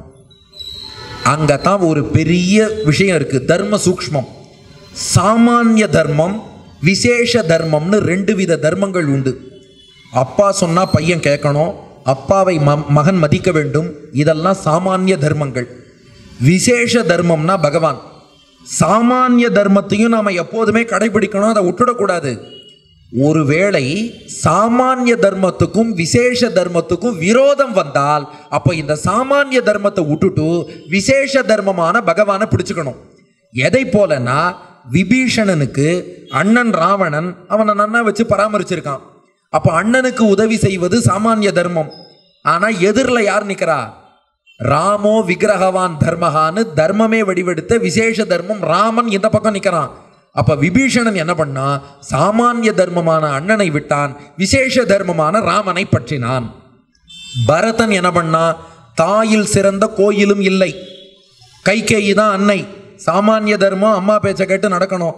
அதுக்காக கைகேயி ராமன் காட்டுக்கு போகட்டும் நீ ஆட்சி பண்ணுங்கிறா. அப்போ என்ன பண்ணான் சாமானிய தர்மமான கைகேயை விட்டான் விசேஷ தர்மமான ராமனை வந்து பற்றி கொண்டான். ஆனால் கர்ணன் எங்கே தப்பு பண்ணிட்டான்னா சாமானிய தர்மமான செஞ்சோற்று கடன்னு துரியோதனனை பிடிச்சிட்டான் விசேஷ தர்மமான கண்டபிரானையை எழுத்து நின்றுட்டான் அப்போ அது ப்ராப்ளம் அதனால் சாமானிய தர்மத்துக்கும் விசேஷ தர்மத்துக்கும் கான்ஃப்ளிக்ட் வரும்போது விசேஷ தர்மத்தை பிடிச்சிக்கணும். மற்ற எல்லா இடங்களிலும் சாமானிய தர்மத்தை விட்டுடக்கூடாது. அப்போ பிரகலாதன் இரண்யாயனமகான்னு சொல்ல மாட்டேன்னான்னா என்ன காரணம்னா அந்த தந்தையான இரணியன் தன்னையே தெய்வமாக வணங்க சொல்கிறார் அப்போ அவரை தெய்வமாக வணங்க மாட்டேன் தெய்வத்தை தான் தெய்வம்னு வணங்குவேன் நாராயணான்னா. ஆனால் தந்தை என்ற முறையில் அவருக்கு என்ன மரியாதை கொடுக்கணுமோ அத்தனையும் கொடுத்தான் பிரகலாதன். அவர் நல்லவர் கெட்டவருங்கிறது அப்புறம் அதை ஆராய்ச்சி பண்ணுற அதிகாரம் மகனுக்கு கிடையாது. தந்தை எப்படிப்பட்டவராக இருந்தாலும் மகன் தந்தையிடம் பணிந்துதான் போக வேண்டும் அந்த சாமானிய தர்மத்தை விட்டுடக்கூடாது. அதனால என்ன பண்ணுறான் தந்தையே வணங்க மாட்டேன்னு சொல்லலை. தந்தை என்ற அளவில் அவருக்குள்ளும் அந்தரியாமையாக நாராயணன் இருக்கிறான்னு கருதி அந்த தந்தையை வணங்குவேன். அதற்காக அவரையே முழுமுதற் கடவுள்னு சொல்லி இரண்யாய நமகான்னு சொல்லி பாடம்படின்னு சொன்னால் அது படிக்க மாட்டேன். அந்த தர்ம நுட்பத்தை பிரகலாதனிடம் இருந்து நாம் அறிந்து கொள்ள வேண்டும். பாருங்க எவ்வளவு சிறுவன் எவ்வளவு அழகாக காமிச்சுட்டான்னு. அப்போ என்ன பண்ணுறான் பாதையோ பதித்தம் பாலம் பிரதிநந்தி ஆசிஷா சுரகா இரண்ய கசிப்புவுக்கு ஆனந்தம் பரவாயில்லையே. பையன் நமக்கு நமஸ்காரம்லாம் பண்ணிட்டான். ஆசீர்வாதம் பண்ணுறான் தேறி வந்துட்டான் போல இருக்கு. ரொம்ப சந்தோஷத்தோடு பரிஷ்வஜ்ய சிரம் தோர்பியாம் பரமாமாப்ப நிர்வத்தியும் அவனை அப்படியே தோளோடு தோளாக பிரகலாதனை தழுவிக்கொண்டான் இரண்யகசிபு. தழுவிக்கொண்டு சந்தோஷத்தோடு பிரகலாதனை பார்த்து அந்த முக்கியமான கேள்வியை கேட்டான் இரண்யகசிபு. இதற்கு தான் எல்லாருக்கும் தெரிஞ்ச பதில். நவவித பக்தி. பிரகலாதன் சொல்ல போகிறான் இப்போ தான் அந்த கேள்வி கேட்டான் ஹிரண்யகசிப்பு. என்னென்னா சரிடா முதல் தடவை ஏதோ தப்பாக சொல்லிட்டேன் இது வேர்ல்டு கப்பே நடக்கிறதுனா ப்ராக்டிஸ் மேட்ச்சில் கொஞ்சம் சொதப்புவா அது தப்பு இல்லை. மெயின் மேட்ச் வரும்போது அப்போ ஒழுங்கா அடிக்கலாம். முன்னாடி நீ தப்பா பதில் சொன்னது ஒரு ப்ராக்டிஸ் மேட்ச் மாதிரி எடுத்துன்னு நான் விட்டுடுறேன். ஆனா இப்போ லீக் ஸ்டேஜ் வந்தாச்சு. இப்போ சரியா பதில் சொல்லணும். பிரகலாதா சொல். பிரகலாத அனுச்சியதாம் தாத்த ஸ்வதீதம் கிஞ்சித் உத்தமம். நீ படித்ததிலேயே உத்தமமான விஷயம் எதுவோ அதை சொல்.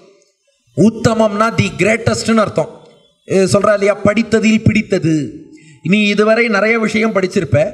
நீ படித்த எல்லா விஷயங்களுக்குள்ளும் உனக்கு பிடித்த விஷயம் என்னன்னு கேட்டான் ஹிரண்யகசிபு பிரகலாதன் சிரிச்சுட்டே சொன்னான் அதுதானே தந்தையே இப்போதே சொல்கிறேன். சிரவணம் கீர்த்தனம் விஷ்ணோஸ்மரணம் பாத சேவனம் அர்ச்சனம் வந்தனம் தாஸ்யம் சக்கியம் ஆத்ம நிவேதனம் இது பும்சார்பிதா விஷ்ணோர் பக்திஷ்சேத் நவலக்ஷணா கிரியேத பகவதி அத்தா தன்மன்யே அதீதம் உத்தமம். தோ சொல்லிட்டேனே நான் படித்த விஷயங்களிலே ஒன்பது விஷயங்கள் எனக்கு ரொம்ப பிடிக்கும். முதல் விஷயம் என்னன்னா சிரவணம். இதுக்கு ரொம்ப அழகா வீரராகவ சுவாமி வீரராகவியம் என்ற வியாக்கியானம் பாகவத சந்திர சந்திரிகாம்பா. அதுல வியாக்கியானம் பண்ணி காட்டுறார் சிரவணம். பகவானை பற்றி காதார கேட்டல் தத் ஸ்வரூப ரூப குண விபூதி சிரவணம். பகவானுடைய ஸ்வரூபம் அவரே. அவருடைய எங்கும் பரவிய திவ்யாத்ம ஸ்வரூபம் அதுதான் அவரே. அதான் ஸ்வரூபம்பா ரூபம்னா அவருடைய திருமேனி திவ்ய மங்கள விக்கிரகம். அவருடைய மங்கள குணங்கள் அவருடைய விபூதினா அவருடைய சொத்துகள். இதெல்லாம் பற்றி நிறைய காதால கேட்கணும் ரெண்டு கீர்த்தனம். நாமோச்சாரணாதி ஆத்மகம் கீர்த்தனம். பகவானுடைய திருநாமங்கள் அவன் கதைகள் இதையெல்லாம் வாயார பாடணும் சொல்லணும். அப்போ பாருங்க பிரகலாதன் என்ன பண்ணிட்டான்? ஆடியன்ஸ் எல்லாம் ஒரு படி மேலே வச்சுட்டான். உபன்யாசகரை கீழே வச்சுட்டான். ஃபர்ஸ்ட் என்ன? சிரவணம். காதால கேட்குறவா தான் முதல்ல. கீர்த்தனம் ரெண்டாவது. சொல்றவா வாயால சொல்றவா பாடுறவா ரெண்டாவதுன்ட்டான். ஸ்ரவணம் ஏன்னா காதால கேட்பது தான் ரொம்ப ரொம்ப முக்கியம். நம் காது வழியாகத்தான் நம் உள்ளத்துக்குள்ளே பகவான் புகுவானாம் ஒன்பது வாசல் இருக்கு இல்லையா அந்த உடல்ல? ஒன்பது துவாரத்தில் பெருமாளுக்கு பிடிச்ச துவாரம் எதுனா காது துவாரமாம். இதை மட்டும் அவருக்கு அர்ப்பணிச்சிட்டோம்னா அது வழியா உள்ள வந்துருவாராம். நம்மாழ்வார் பாடுகிறார் புவியும் இரு விசும்பும் நின்னகத்த நீ என் செவியின் வழி புகுந்து என்னுள்ளாய். காதை மட்டும் அவனுக்கு கொடுத்துட்டோம்னா உள்ள வந்துருவார். சிரவணம். அடுத்து கீர்த்தனம். அவன் நாமங்களை பாடணும். விஷ்ணோ ஸ்மரணம். பகவானுடைய திருமேனி அதை நன்றாக நாம் தியானம் பண்ண வேண்டும். ஸ்வரூபாதி விஷயக்கம் ஏவ ஸ்மரணம் என்று வியாக்கியானம். அவன் திருமேனியை நன்றாக தியானிக்க வேண்டும். பாத சேவனம் பாத சேவனம்னா அவனுடைய திருவடிகளுக்கு தொண்டு செய்தல். இதை வியாக்கியானத்தில் ரொம்ப அழகாக கொடுக்கிறார். அர்ச்சாவதாரத்தில் பெருமாளுடைய பாத சேவனம் பாதயோகோ சம்வகனம் அர்ச்சா விக்கிரக ததீய பாதயோகோ. அர்ச்சாவதாரத்தில் உள்ள பெருமாளுடைய திருவடி அதை தலைக்கு மேல் சுமத்தல். அது பாத சேவனம் அல்லது அவ்வளோ கட்டப்பட வேண்டாம். பகவானுடைய அடியார்கள் இருக்கா இல்லையா? அடியார்களுக்கு கைங்கரியம் பண்ணா அது பாத சேவனமா? அது என்னப்பா ஸ்லோகத்தில் பாத சேவனம்னு இருக்கு. நீ அடியார்களுக்கு கைங்கரியம்ங்கிறியே. பக்தர்களை என்ன சொல்றோம்? அடியார்கள். அடினா பாதம் திரு அடி. அடினாலே பாதம். பெருமாளுக்கு பாதமாக இருப்பவர்கள் பக்தர்கள். அதனால தான் அவர்களை அடியார்கள்னு சொல்றோம். அதனால் அந்த பாகவத கைங்கரியம் பண்ணினால் அதுவே பாத சேவனம் அடியார்களுக்கு தொண்டு செய்வது பகவான் திருவடிகளுக்கு தொண்டு செய்வதாகும். அப்புறம் அர்ச்சனம். அர்ச்சனம்னா தூய மலர்களால் பகவானை தொழுது அவனுக்கு பூஜை செய்வது. வந்தனம். வந்தனம்னா விழுந்து நமஸ்காரம் பண்ணுவது. தாஸ்யம் என்றால் தொண்டனாக இருந்து பணிவிடைகள் செய்வது. இதில் வியாக்கியானத்தில் என்ன கொடுத்துட்டார்னா பாத சேவனம் அர்ச்சனம் வந்தனம் தாஸ்யம் இதெல்லாம் ததிய பரியந்தானின்னுட்டார் பகவானுக்கு மட்டும் இல்லை அடியார்களுக்கும் சேர்த்து பண்ணணும்னார் அப்பதான் அது முழுமையானதாக இருக்குமா? பாத சேவனம்னா பெருமாளுக்கும் கைங்கரியம் பண்றோம். அவர் திருவடியாக இருக்கும் அடியார்களுக்கும் பண்ணுகிறோம். அர்ச்சனம்னா பகவானையும் ஆராதிக்கிறோம். அவன் அடியார்களையும் ஆராதிக்கிறோம். ததியர்கள்னு அடியார்களுக்கு பேரு. ததியர்களை ஆராதித்தால் ததியாராதனம்னு சொல்றா பாருங்க. ததியர் என்றால் அவனுடைய அடியார்கள்னு அர்த்தம். அப்போ அந்த அடியார்களை ஆராதிக்கணும். அர்ச்சனம் வந்தனம் அந்த பாகவதர்களாகிய அடியார்களை விழுந்து நமஸ்கரிக்க வேண்டும். தாஸ்யம் அந்த அடியார்களுக்கு தொண்டனாக இருந்து கைங்கரியம் பண்ணணும். அதுக்கப்புறம் சக்கியம். சக்கியம்னா பகவானோடு நண்பனாக கலந்து பழகுவது. ஒரு அர்ஜுனன் எப்படி கிருஷ்ணனோடு நண்பனாக கலந்து பழகினானோ அப்படி பழகுவது சக்கியம். அதுக்கப்புறம் ஆத்ம நிவேதனம் ஆத்ம நிவேதனம் என்றால் இங்கே வியாக்கியானம் பாருங்கள் பகவானுக்கு நாம் சேஷபூத்தன்னு புரிந்து கொண்டு சேஷபூத்தன் என்றால் அவனுக்கு மேன்மை சேர்ப்பதற்காகவே ஏற்பட்ட தொண்டன் அர்த்தம். ஏன்னா சாதாரண தொண்டனை தாசன்னு சொல்லுவா. சேஷன்கிறவர் யாருன்னா வேதார்த்த சங்கிரகத்தில் ராமானுஜர் டிஃபைன் பண்ணுறார் பரகத அதிசய ஆதான இச்சையா உபாதேயத்துவம் ஏவ எஸ்ய சொரூபம். ச சேஷகா பரசேஷீனர். தன்னுடைய தலைவனுக்கு மேன்மை சேர்ப்பது மட்டும்தான் தன் வாழ்க்கையின் ஒரே பிரயோஜனம்னு எந்த தொண்டன் இருக்கானோ அவனுக்கு தான் சேஷன்னு பேர். அப்போ நாம் என்ன பண்ணணுமா? இப்போ ஆஃபீஸில் ஒருத்தருக்கு நாம் சர்வெண்ட்டாக இருக்கலாம். கவர்மெண்ட் சர்வெண்ட் ப்ரைவேட் சர்வெண்ட்டுன்னு சொல்லிக்கலாம். அது டென் டு ஃபைவ் தான். அஞ்சு மணிக்கு வீட்டுக்கு வந்துட்டா நீ யாரோ நான் யாரோ? ஆனால் பகவான்கிட்ட அப்படி இல்லை. எற்றைக்கும் ஏழு ஏழு பிறவிக்கும் உந்தன்னோடு உற்றோமேயாவோம். உனக்கே நாம் ஆட்செய்வோம் எல்லா காலத்திலும் அவனுக்கு மேன்மை சேர்ப்பதற்காகவே ஏற்பட்டது தான் ஜீவாத்மா. ஒரு உதாரணம் சொல்லணும்னா மலரும் மணமும் போலே ஃப்ளவரும் ஃப்ராக்ரன்ஸும் போலே பகவான் பூனா ஜீவாத்மா வாசனை போல. பூ இல்லாமல் வாசனையால் தனித்து இருக்க முடியாது. பூவுக்கு பெருமை சேர்க்க மட்டும்தான் வாசனை இருக்கே ஒழிய வாசனைக்குன்னு தனியாக இன்னொரு பெருமை கிடையாது. இன்னும் புரியிறாப்புல சொல்லணும்னா சுவரும் பெயிண்ட்டும் போல சுவருக்கு அழகு சேர்க்கத்தான் பெயிண்ட் இருக்கே ஒழிய தனியாக பெயிண்டால் இருக்க முடியாது. பெருமாள் சுவர்னா நாம் பெயிண்டாக இருக்கணும். இன்னும் சுவையாக சொல்லணும்னா காஃபியும் சுகரும் போல பகவான் காஃபியாக இருக்காருன்னா இனிமை சேர்க்கும் சர்க்கரையாக ஜீவாத்மா இருக்கணும். இல்லை அதுக்கு தான் சேஷன்னு பேர். சேஷன்னா தலைவனுக்கு மேன்மை சேர்ப்பது மட்டும்தான் என்னுடைய ஒன்லி பர்பஸ் ஆஃப் எக்ஸிஸ்டன்ஸ் என்று யார் ஒருவர் வாழ்கிறாரோ அவரை சேஷன் சேஷபூதன் என்று குறிப்பிடுவார்கள். அந்த மாதிரி அதான் ஆத்ம நிவேதனம்னா அப்போ நான் மொத்தமாகவே அவனுக்கு தான் அதை புரிந்து கொண்டு இங்கே வியாக்கியானம் பண்ணுகிறார் பாருங்கள் தத் சேஷத்துவ அனுசந்தானம். அவனுக்கு நான் ஃபுல் டைம் தொண்டன்னு புரிந்து கொண்டு இந்த ஜீவாத்மாவை மொத்தமாக பகவான் திருவடியில் அர்ப்பணிக்கிறானே அதற்கு ஆத்ம நிவேதனம்னு பேர். இதுதான் ஒன்பது வித பக்தி ஸ்ரவணம் கீர்த்தனம் விஷ்ணோஸ்மரணம் பாதசேவனம் அர்ச்சனம் வந்தனம் தாஸ்யம் சக்கியம் ஆத்ம நிவேதனம் சிரவணம்னா காதால் அவன் புகழை கேட்டல் கீர்த்தனம்னா நாவால் அவன் நாமங்களை பாடுதல் விஷ்ணோஸ்மரணம்னா மனதால் அவன் திருமேனியை தியானித்தல் பாத சேவனம் அவன் திருவடியாக இருக்கும் அடியார்களுக்கு தொண்டு செய்தல் அர்ச்சனம் பகவானுக்கு பூஜை செய்தல் வந்தனம் விழுந்து நமஸ்கரித்தல் தாஸ்யம் தொண்டனாகி கைங்கரியம் செய்தல் சக்கியம் நண்பனாக கலந்து பழகுதல் ஆத்ம நிவேதனம். நான் உன்னுடைய சொத்து என்பதை புரிந்து கொண்டு அவன் திருவடிகளிலேயே நம்மை மொத்தமாக அர்ப்பணித்தல். இதுதான் இதி பும்சார் பிதா விஷ்ணு பக்தி சேத் நவலக்ஷணா இந்த ஒன்பது வித பக்தி இருக்கு. பிரகலாதன் சொன்னானா கிரியேத்த பகவதி. இந்த ஒன்பது வித பக்தியையும் வெறும்ன டெக்ஸ்டில் தெரிஞ்சுட்டா போறாது. தியரியா தெரிஞ்சுட்டா போறாது. இதை வாழ்க்கையில அனுட்டிக்கணும்னா லோகேபிகி எத் வஸ்து விஷயா பிரீத்திகி. உலகத்தில் பல விஷயங்கள்ல நமக்கு ஒரு பிடித்தம் ஏற்படுறதுன்னா உடனே என்ன பண்ணுவோம்னா தத் விஷயக்க ஸ்ரவணாதீனி ஸ்வத ஏவ பிராப்தானி. உலகியல் விஷயத்தில் உன்னை பிடிச்சிருக்குன்னு வச்சுக்கோங்களேன் அதை பற்றி நாமே கேட்க ஆரம்பிச்சிருவோம். இன்னொருத்தர் சொல்லணும்னு தேவையில்லை. திடீர்னு ஒரு பாட்டு ரிலீஸ் ஆயிருக்கு யூடியூப்ல ஒன் மில்லியன் வியூஸ் வந்துருத்துன்னா நாமே போய் அதை கேட்டுடுவோம். அதுபோல யாரோ ஒருத்தரை நம்ம பிடிச்சிருக்குன்னா நாமே போய் அவரை பார்ப்போம். ஒருத்தருக்கு தொண்டு செய்யணும்னு நினச்சா நாமே போய் செய்வோம். அதுபோல இதெல்லாம் யாரும் சொல்லி கொடுத்து வராது. பகவான்கிட்ட பக்தி என்பது காதல்ங்கிறது பகவான்கிட்ட வந்துருத்துன்னா தானே அவனை பற்றி கேட்க தொடங்குவோம். தானே அவன் நாமங்களை பாடத் தொடங்குவோம். தானே மனம் அவனை தியானிக்கும். உடல் அவன் அடியார்களுக்கு கைங்கரியம் பண்ணோம். அவனுக்கு கைகளால் அர்ச்சனை செய்வோம். அவனை தலையால் விழுந்து வணங்குவோம். அவனுக்கு தொண்டனாக பணிவிடைகள் செய்வோம். நண்பனாக உறவாடுவோம். நம்மையே அவன்கிட்ட அர்ப்பணிப்போம். அப்ப பக்தி காதல்ங்கிறது பகவான்கிட்ட வந்துருத்துன்னா இதெல்லாம் தானே வந்துவிடும் நான் அப்போ பிரகலாதன் சொல்கிறான்னா கிரியேத்தை இது எல்லாத்தையுமே செய்யணும். வெறுமனே இதெல்லாம் படிச்சுட்டேன். நான் பக்தி பிரதிபாதக. இங்கே வியாக்கியானம் பண்ணுறார் வீரராகவ சுவாமி.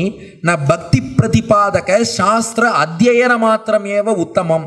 வெறுமனே இந்த ஒன்பது வித பக்தின்னு தியரிட்டிக்கலாக யார் கேட்டாலும் தூக்கத்தில் எழுப்பி கேட்டாலும் லிஸ்ட் சொல்லுவேன்னு சொல்றது உத்தமம் இல்லை. அப்பிது தது அனுஷ்டானம் நானும் இந்த ஒன்பதையும் வாழ்க்கையில் பின்பற்றுவது இருக்கிறதே அதுதான் ஒசத்தது. ஏன்னா கிரியேத பகவதி அத்தா தன்மதி தன்மன்யே அதீதம் உத்தமம். அத்தா அப்படின்னா டெஃபினெட்லி சர்டைன்லின்னு அர்த்தம் நிச்சயமாக. கிரியேத பகவதி அத்தா. இதை பகவானை குறித்து செய்ய வேண்டும். செய்தால் அத்தா நிச்சயமாக சொல்கிறேன் தன் மண்யே அதீதம் உத்தமம். அவ்வாறு அருட்டானத்தில் செய்வதுதான் அடியேன் படித்ததில் பிடித்ததுன்னா. ஏன்னா இந்த ஸ்லோகம் நீங்கள் நிறைய கேட்டிருப்பேள் இதை கொஞ்சம் வியாக்கியானத்தோடு சொன்னால் கொஞ்சமாவது புதுமையாக இருக்குமோன்னு எதிர்பார்த்தேன். அது நீங்களாம் நிறையா கேட்டவா? அதனால் எவ்வளோ தூரம் புதுமையாக இருந்ததுன்னு நமக்கு தெரியாது. அதனால் பிரகலாதன் சொல்லிட்டான் இதை வாழ்க்கையில் அனுஷ்டிக்க வேண்டும். இந்த ஒன்பது வித பக்தியையும் அனுஷ்டிப்பது தான் வாழ்க்கையில வசத்தின்னா இப்போ ஹிரண்யகசிபுவுக்கு வந்ததே பார்க்கணும் கோபம்.